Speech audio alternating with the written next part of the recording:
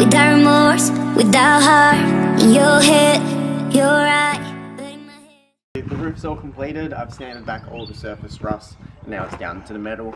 Now what I'm going to use is the White Knight Rust Guard. So hopefully we don't have to paint the roof. We're just going to use this for two purposes, for the Rust Guard and for paint. I don't know, I'm fine without you, you, you, you, you. You beg me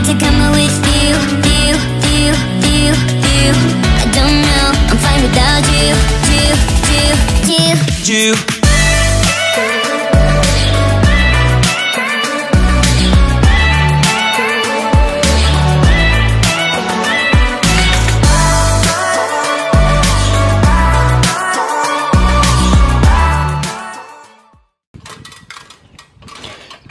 So a little progress update.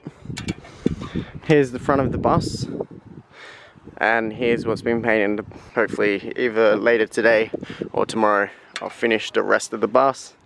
Give it a day to dry and then give it a second coat and then should be good as new. Day two of painting. You